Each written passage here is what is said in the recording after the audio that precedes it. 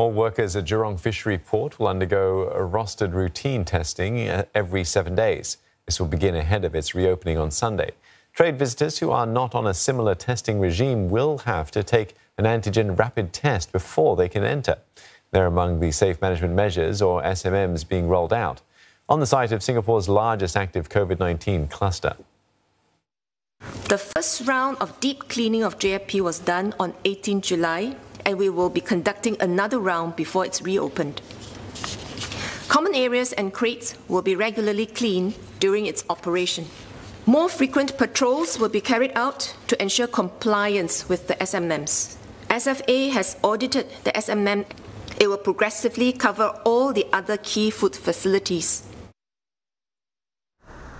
These facilities will include Senoko Fishery Port and Pasir Panjang Wholesale Centre.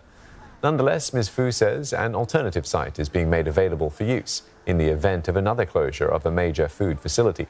Responding to queries, she also says authorities are considering requiring foreign crew who enter the ports to be vaccinated or undergo rapid testing.